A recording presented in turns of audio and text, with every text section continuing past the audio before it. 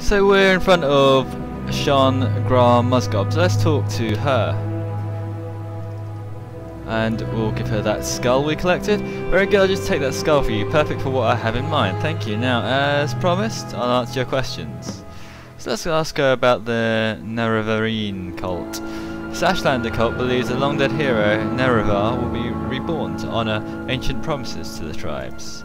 According to legend, the prophesied Nerevarine will cast down the false gods of the Tribunal Temple, restore the traditional ancestor worship practiced by the Ashlanders, and drive all Outlanders from Morrowind. Both Temple and Empire outlaw the cult, but it persists among Ashlanders, who care little for Imperial or Temple law. Here. So take this copy of my notes on the topic for Caius. So I've got the details. I've already been told about the cult, which appears to be some people who believe in these prophecies. Ashlander culture honours dream visions and prophecy, unlike Temple and Western cults, which regard visions and prophecies as primitive superstition. Wise women interpret dreams and visions and pass them on to succeeding gener generations. The most common version of the Nerevarine prophecy is the stranger. Did you know that Nerevar was known to possess a magical ring named One Clan Under the Moon and Star? Nerevar swore his promise to honour ancient Ashlander traditions and land rights on this magical ring. Okay. And I guess that's the land rights that was originally promised to the Ashlanders but who the Imperials and the Great Houses stole from them. Nerevar is the first age hero of the Dunmer people. Is a great general and lead, great general and leader. He helped form the first council, unite the Dunmer houses against foreign invaders, aided by the traitors of House Dagoth. He triumphed over Morrowind's enemies at Red Mountain, but died in battle. Who's Peakstar? The most recent case of a person claiming to be the Neverine is a girl child named Peakstar. After a long period of searching for her, the Ordinators recently reported that Peakstar is dead. That may be true, but I haven't heard the, the Temple has offered any convincing proof that she's dead. So who is she? She's obviously someone else who thinks that she's the Nerevar, and the Emperor thinks that I am, or she's why he sent me on this mission. So let's have a look at these notes that I've been given by that Necromancer Orc.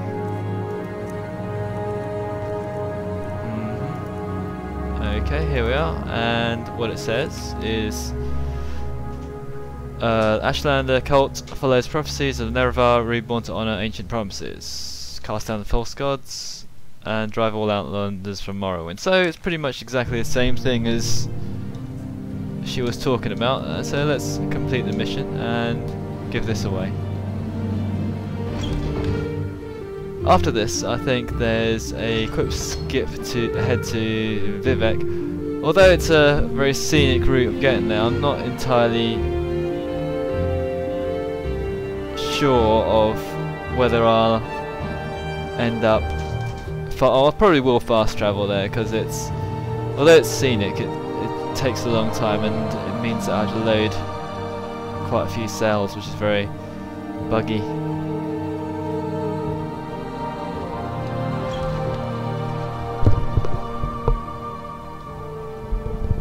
There's a couple of ways to get to Vivec. You can either take the Silt Strider, or, which I haven't done yet, uh, you can take the instant transportation service. That actually costs a little bit more gold. Doubt Are you here to discuss your orders, or is there something else you want? Mm-hmm. Okay, let's discuss orders. And these are Sharn's notes on the Nerevarine cult? Excellent. I'm promoting you to Blade's Apprentice. I'd like some time to think how this fits in with the Emperor's plans for you.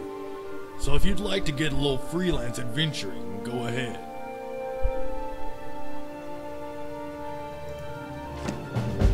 Now let's get orders straight away. I don't want to do any freelancing adventuring. I've thought it over, and I want you to interview three informants in Vivec City concerning the Nerevarine in the Sixth House. First, I want you to speak to Addhiranirr, a Khajiit Thieves Guild operative. Second, I want you to speak with Huleeya, an Argonian in the Morag Tong. Finally, I want you to speak with Mehra Milo, a temple priestess. Here. I've written the details down so you won't forget. And here are 200 drakes for bribes and other expenses. Okay, what do I get I'm from being an promoting you to apprentice? rank, effective immediately. And here's a little present. Two spell scrolls. The divine intervention will recall you to the nearest imperial shrine, and the Almsivi Intervention will recall you to the nearest temple. They come in handy for a quick getaway. No, no. No thanks needed. You're doing great work. Now get out of here and let me read.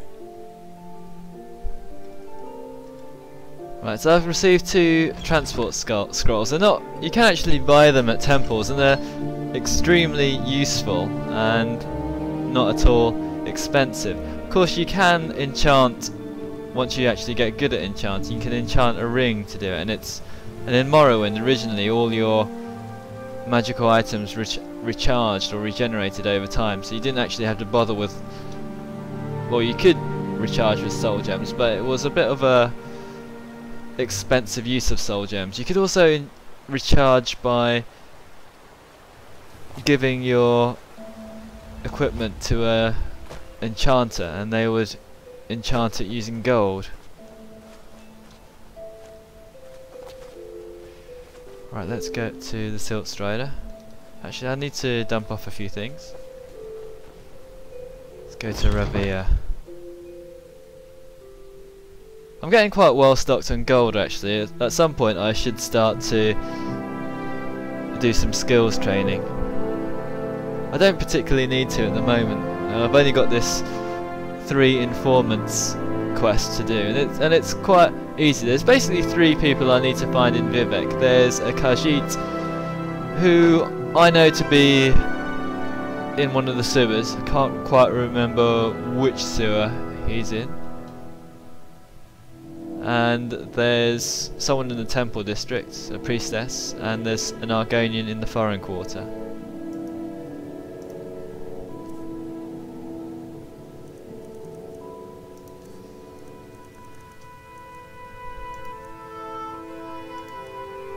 Let's sell off some of this stuff. No, it's only two gold I get from it. It's not really worthwhile. Well, we'll save ourselves a lot of weight anyway.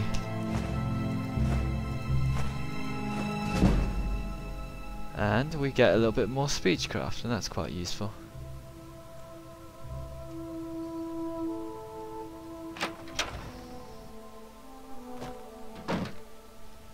I think those are far more realistic merchant prices, by the way. I know that you in some games you can just oh that was a really fast jump. You can actually end up get extremely rich by just selling junk. But I don't, I don't like games like that.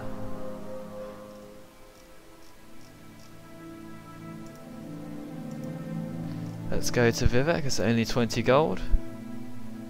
So it's handy that I sold off a few mugs and bowls. I think we'll find the the Argonian first. Each person, before you speak to them, they've got a little mini quest associated with them. So this quest, this main quest, is basically three mini quests in one. One for each informant that you speak to. And even if you, when I first played this game, when I first played Morrowind, I didn't know anything about this, the uh, the, basically the storyline that was going on behind it. And as you play, well, as you play quite a few games, some people just don't even bother reading the story. And I, and I was like that. I was like, okay, I can't be bothered uh, reading through the story. We'll just rush through it. And I just didn't really know what was going on as I was playing through the game. And naturally, I found the the game not as interesting. This is Vivec, and this is one of the cantons and there are plenty of these. I'm just going to save here just in case we suffer from another crash.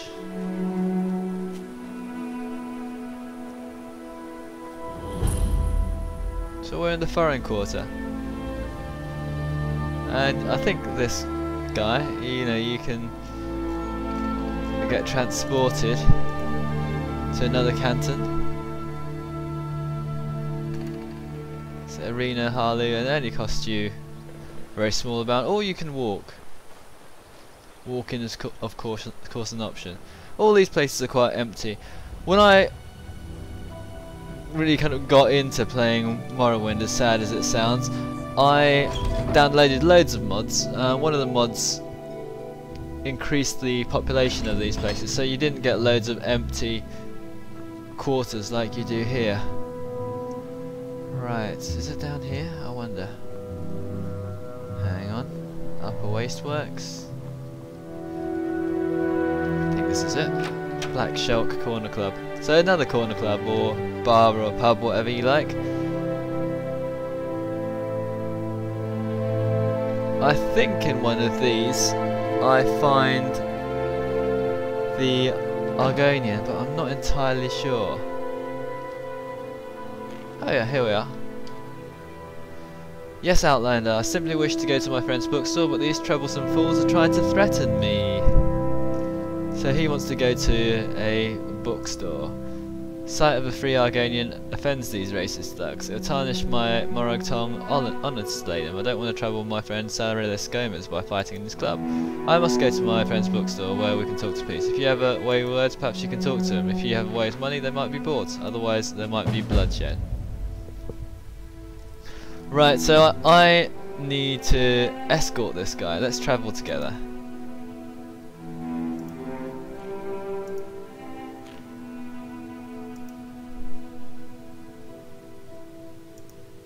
Okay, just wait there for now.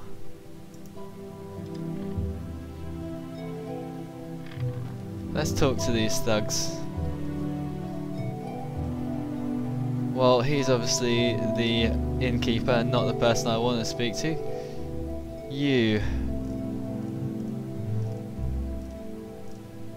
A filthy lizard.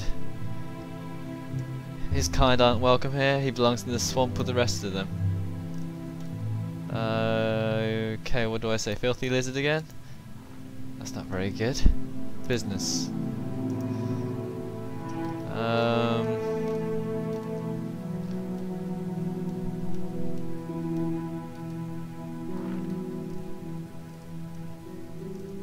now, I don't want to bribe you.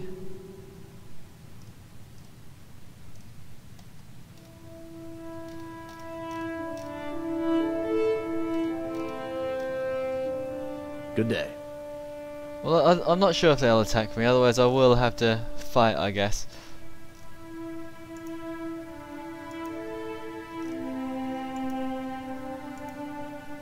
I don't think I've got enough charm to affect them. So I'm, I think I'll have to risk just leaving now and fighting them later. I don't think that's going to be too much of an issue. If we run outside into one of the guards, maybe they'll help us as well. That was a tactic I used to do in Oblivion all the time. At the moment he's stuck me, got me stuck, sorry, and I can't get out of this conversation where he's not saying anything. Help me, stop talking to me.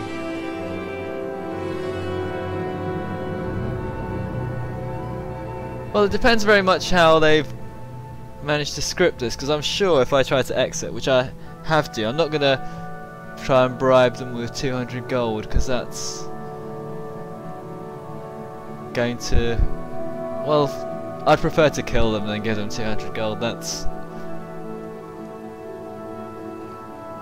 Go ahead, keep talking, I'm to pop your head off and feed it to the filthy lizard. Right, come on, let's go, Julia. Yep. Let's go.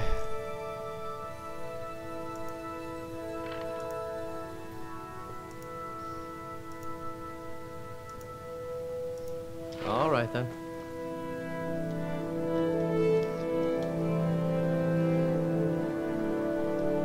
You're not gonna leave?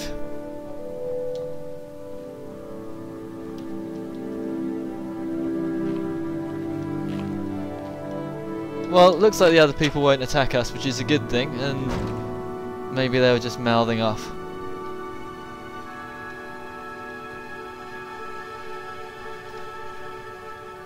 Please, is this an ordinator? No.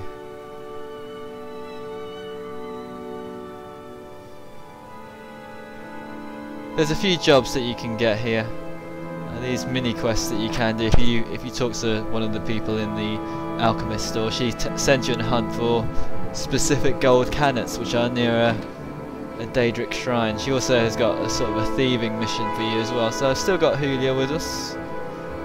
Here's an ordinator. Let's go and find his friend, who's a Khajiit. That's Shabassa. Julia. Julia is here. Okay. Thank you very much. We're free from distraction here. So I want to ask you a few things. Uh, let's ask about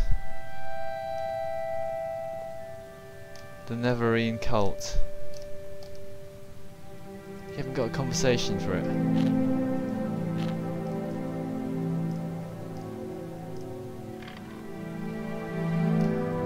What do you know about? Well, that's not what I want.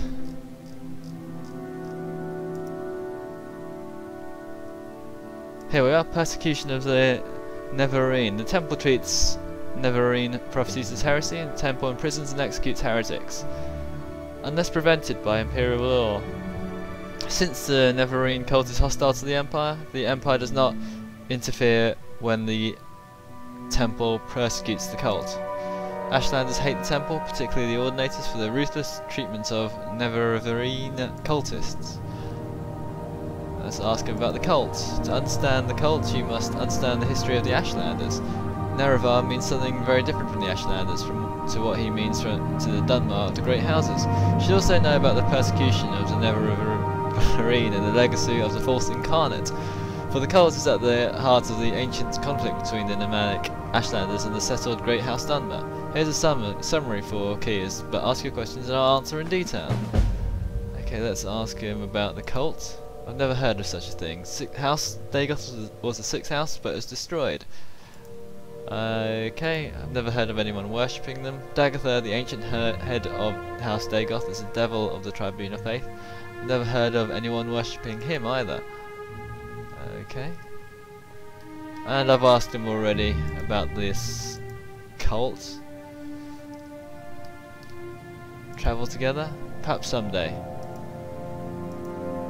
Okay, so you can't get him as a friend. Let's go. We've, completed this quest.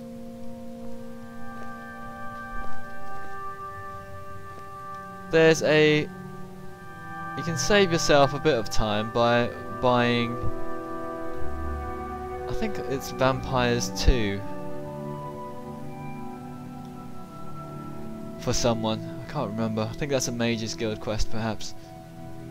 Well, at some point you need to return to this book still. I can't remember which book it was now. Let's try and get over this incredibly steep ramp. Give it a run up. Can't believe any... I think everyone would be stuck by this. Okay, I can't get up this ramp.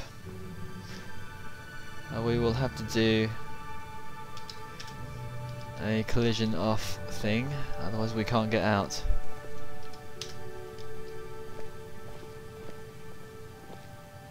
You got very amused by that, didn't you? I couldn't even get out. This is also locked. So I can't get out. Okay.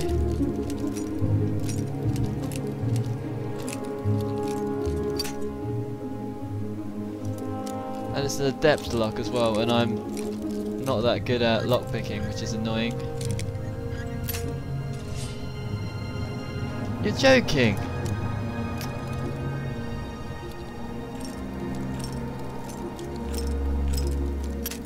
Stop locking me in.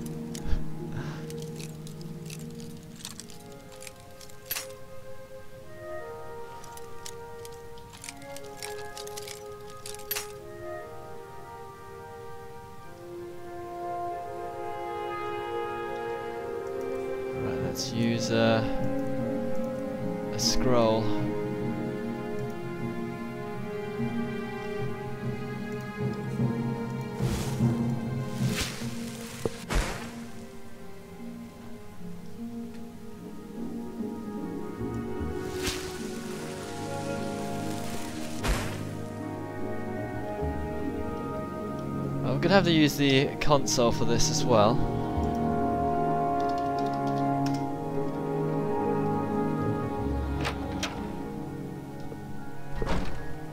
And yeah, I really don't know.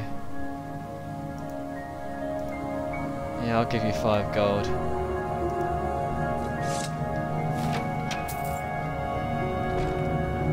I'll take that as some sort of shakedown. Perhaps it's because it's past nine o'clock that they've locked the door behind me.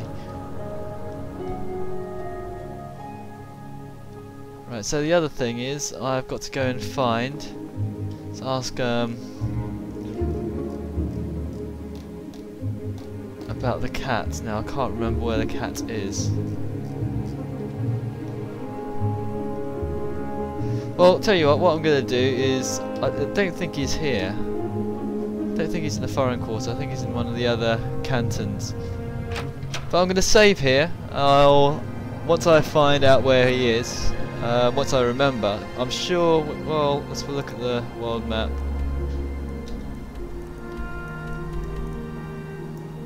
I'm sure he's in one of the other quarters. Can't remember where. But when I do, I'll just head down the sewers, and that'll be the next episode.